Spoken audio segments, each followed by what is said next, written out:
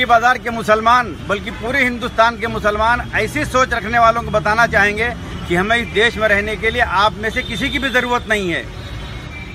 मैं ज़्यादा तो नहीं कहूँगा, बस आपको जो दिखेगा, वो मैं आपको बता देता हूँ। ये देखिए, भिवंडी से 2014 में इनके कैंडिडेट थे सुरेश मात्रे। 93,647 वोट्स दिया था उन्होंने। 2009 में इन्होंने भिंडी भिवंडी से देवराज मात्रे को खड़ा कराया था।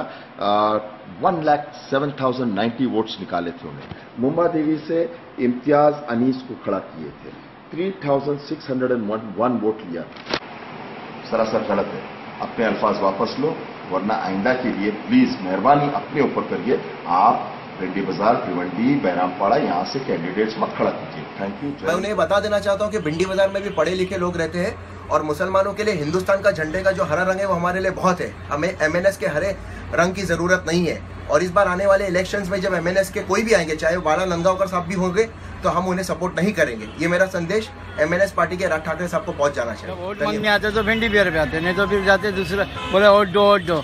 जब भिंडी बिहार का नाम बदनाम करते समझे? बोले, भिंडी बिहार खचाड़ खिला से ना ये अगली बार वोट मांगने आएँगे तो फिर मालूम पड़ेगा भिंडी बिहार में।